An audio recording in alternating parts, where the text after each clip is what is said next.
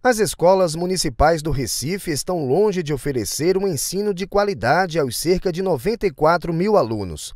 Os problemas vão além da péssima estrutura física, atingem a parte pedagógica e até mesmo a alimentação das crianças. Por sinal, o alimento servido nas escolas é motivo de reclamação em várias unidades. O aspecto e o gosto nem sempre são atrativos ao paladar das crianças. Quando a pessoa está comendo que está em tempo de chuva, cai pingueira dentro do, do comer. Quando vai tomar suco, só tem água. As colheres tudo cebada, os pratos. O suco aguado. O suco aguado, é. As más condições de higiene no preparo das refeições são risco para a saúde dos alunos.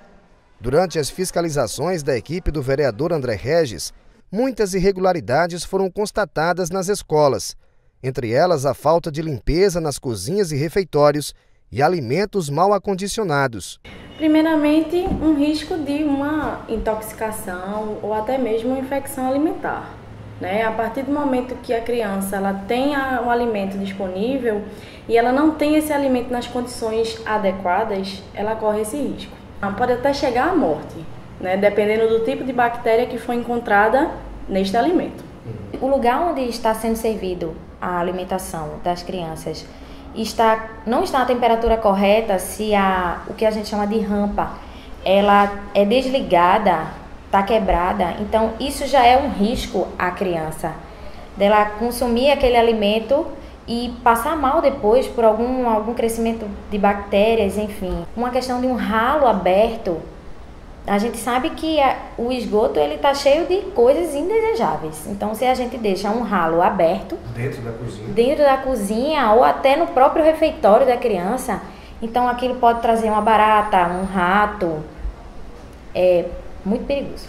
De acordo com as nutricionistas Suzana Guerra e Luana Ribeiro, não basta apenas cuidar da qualidade dos alimentos.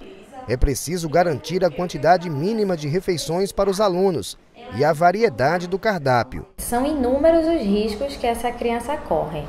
Se for uma deficiência de proteínas e carboidratos, ela pode ficar desnutrida.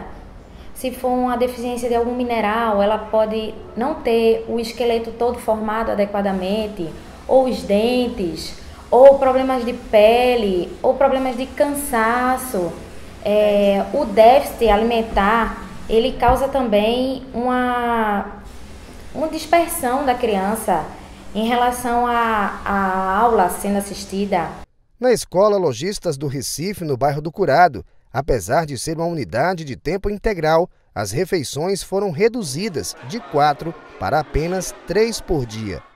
Se ela funciona das sete da manhã às cinco da tarde, no mínimo a gente teria aí um café da manhã, um lanche da manhã, um almoço, um lanche da tarde e o que a gente chama de uma ceia, né? Ou até mesmo um jantar reforçado ou uma ceia reforçada.